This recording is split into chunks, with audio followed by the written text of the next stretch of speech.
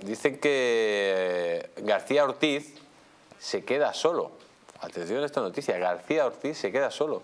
La Fiscalía Superior de Madrid se negó a firmar la filtración de datos del novio de Ayuso. Eh, ¿Qué opina usted de esto, de Doñana? Eh, eh, cuando he comenzado mi anterior intervención he dicho sobre el artículo 4 del, Estatuto del Ministerio Fiscal, sobre ese eh, derecho que tienen también los, ciudadanos de conocer la situación en este momento ante la opinión pública y, tienen ese derecho reconocido en ese artículo. Y más cuando no están sumados esos correos a la, causa.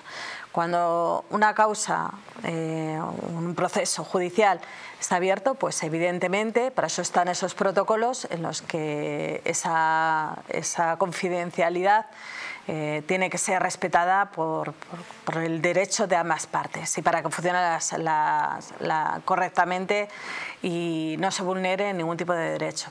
Ahora, la fiscal jefe de, Madrid no ha querido firmarlo, pues se entenderá y, en formas de contrapesos y también eh, ella misma valorando su propia decisión, pues es correcto y no, tengo nada más que decir. muy, rápido. Uno de los motivos de discrepancia, por eso es bueno que este asunto vaya a los tribunales y que sean los tribunales los que decidan al respecto. Yo creo que es fundamental que los ciudadanos tengan muy claro, y esto hay muchas dudas que, de que en España en ese momento se está garantizando, tengan muy claro de que tenemos una división de poderes y de que los derechos que tienen cada uno de los ciudadanos tienen que ser salvaguardados. Cuando se producen posibles atropellos, y yo creo que aquí se han producido, hay que ir a los tribunales para que resuelvan.